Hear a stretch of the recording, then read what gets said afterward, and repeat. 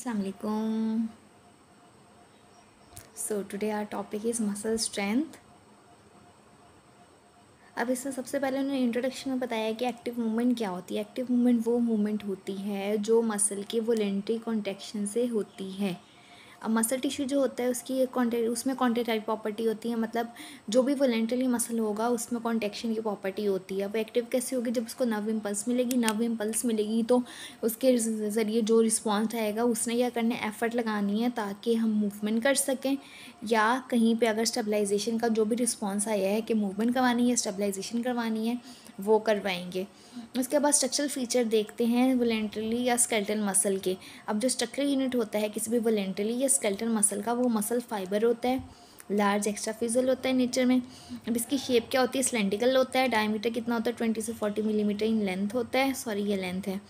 और उसके बाद इसके डायमीटर की बात करें तो one by ten two one by hundred of millimetre होता है इन डायमीटर उसके बाद किसमें इंक्लोज होता है? एक शीट में इंक्लोज होता है, जो लास्टिक के नेचर होती है, और उस शीट को हम कहते हैं सार्कोलीमा उसके बाद दो टाइप के फाइबर्स होते हैं, एक होते हैं रेड एक होते हैं वाइट वन बाय वन को देखते हैं, सबसे पहले हैं रेड फाइबर्स अब ये रेड क्यों होते हैं? क्योंकि ये रिच इन ब्लड सप्लाई होते हैं और इसमें रेड पिगमेंट जो है प्रेजेंट होता है।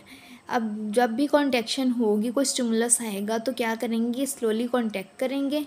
लेकिन बिना थके ये लंबे टाइम के लिए कॉन्टेक्शन जो है, उसको सस्टेन कर सकते हैं या मेंटेन कर सकते हैं। और जब भी कोई एंटी ग्रेविटी मसल एक्टिविटी होनी होती है तो इसमें ये वाले फाइबर सबसे ज़्यादा जो है, अपना रोल प्ले करते हैं और ये पोस्टर को मेंटेन करते हैं। जैसे सोलियस हो गया is an example of red is an example of muscle that contain red muscle fibres फिर है कंपेरेटिवली वाइट फाइबर्स अब दूसरे फाइबर्स जो पेलर होते हैं कलर में, उसको हम कहते हैं वाइट फाइबर्स जब भी कोई स्टिमुलस मिलेगा, ये जल्दी जल्दी रिस्पॉन्ड करेंगे, लेकिन जल्दी थक जाएँगे। और जब भी कोई मूवमेंट करवानी है, उसमें सबसे ज़्यादा रोल जो है, वो ये वाले फाइबर जो हैं, वो प्ले करते हैं, जैसे गेस्ट्रोनीमियस उसके बाद उन्होंने मसल के अरेंजमेंट की बात की मसल फाइबर जो होते हैं, एक दूसरे के पैरेलल लाई करते हैं, उसके बाद ग्रुप्स बनाते हैं एक दूसरे के साथ, और साउंड होते हैं कनेक्टेड टिश्यू से, ताकि बंडल्स बन सकें, और बहुत सारे बंडल जो हैं, एक दूसरे के साथ मिल जाते हैं, ताकि वो मसल की सब्सटांस बना सकें. अब मसल जो है, दोनों एक्सट्रीमिटीज़ पे अटैच होता है बोन से कार्टिलेज से फेशिया से फाइबरस टिश्यू से.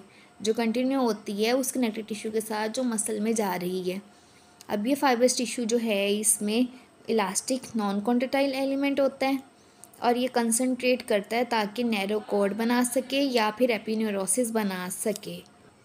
देन उन्होंने ये बताया कि मसल की एक होती है ओरिजन एक होती है इंजर्शन जो ज़्यादा प्रॉक्सिमल पार्ट होता है, उसको हम कहते हैं ओरिजन और अपोजिट पार्ट जो उसको हम कहते हैं इंजर्शन नेक्स्ट उन्होंने ये बताया कि अटैचमेंट जो होती है, वो फ्री होती है सेंटर की तरफ़ और इंजर्शन जो होती है, वो फिक्स होती है ताकि मसल जो है, वो वर्क कर सके, लेकिन वो फिक्स भी रहे। मतलब अपने, ये ना हो कि मूवमेंट हो रही है मसल अपनी जगह से हिल जाए। उसके बाद मसल की वेरियस फॉर्म्स होती हैं, जिसके फ़ंक्शन के अकॉर्डिंग जो वेरी करती है।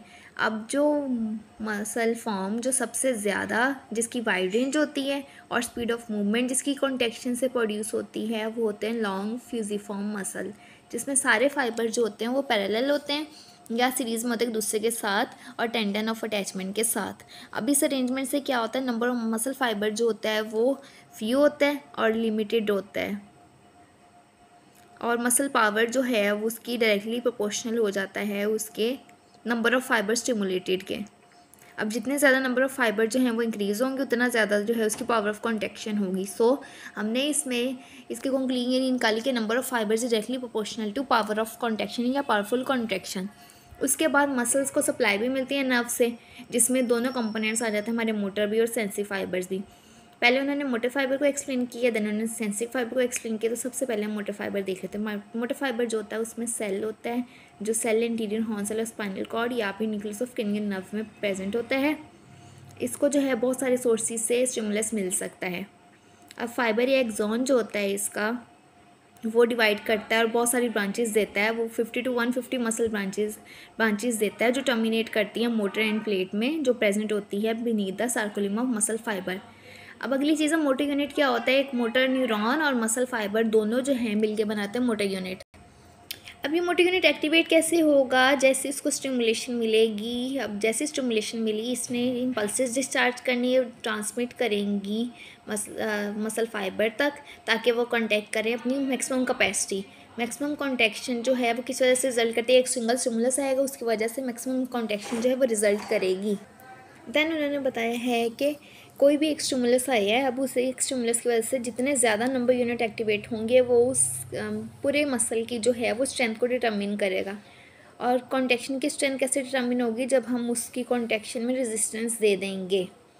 ये था हमारा मोटर कंपोनेंट या मोटर पार्ट उसके बाद है सेंसी रिसेप्टर्स सेंसी रिसेप्टर्स क्या क्या रिकॉर्ड करते हैं? टेंशन रिकॉर्ड करते हैं पैसिव स्ट्रेचिंग की कितने डिग्री की कॉन्टेक्शन हुई है? पेन डीप प्रेशर जो मसल और टेंडन में फील होता है। और ये सारी इम्पल्सिस को कन्वे किया जाता है सी तक। अब रिसेप्टर्स सेंसिटिव होते हैं स्ट्रेचिंग के लिए। कंपोनेंट्स होते हैं मसल स्पिंडल का, जो लाइक करता है बिटवीन इट्स फाइबर्स के पैरेलल और मसल रिस्पॉन्ड करता है जब भी स्टिमुलेशन होगी इसके स्टेप्स रिसेप्टर्स की। जैसे ही स्ट्रेच मसल ने स्ट्रेच किए हैं इसके स्ट्रेच रिसेप्टर स्टिमुलेट होंगे, वहाँ इंटरमस्कुलर टेंशन इंक्रीज़ हो जाएगी और रिसेप्टर एक्टिवेट होकर जो है वो आगे फर्दर सीएनएस को जो है वो मैसेज कन्वे कर देंगे। सो सेंसिसेप्टर्स का एक फ़ंक्शन तो हमने देख लिया है कि इन्होंने जो भी स्ट्रेचिंग या चेंजेस आए हैं, उसको सेंस करना। दूसरा फ़ंक्शन इनका ये है कि इन्होंने मोटर यूनिट की एक्टिविटी की एफिशिएंसी जो है, उसको इंक्रीज़ करना होता है। अब जो टेंडेंस में सेप्टिसेप्टर्स होते हैं, वो कैसे स्टिमुलेट एक्टिव होंगे जब प्रोलॉन्ग स्ट्रेचिंग होगी? जो क्या कर देगी? मसल कॉन्टेक्शन जो है उसको इनहिबिट कर देगी। और जो फाइबर टिश्यू में सेंसिटिव सेप्टर्स होते हैं, वो क्या करेंगे? वो जॉइंट्स को साउंड करते हैं और सेम नर्व में ट्रैवल करते हैं जो उस मसल को सप्लाई करती है। और रिफ्लेक्स कॉन्टेक्शन होगा इन फाइबर्स का, अगर उनको स्ट्रेन मिलता है, ताकि किसी किस्म की जॉइंट इंजरी होने से प्रिवेंट हो सकें।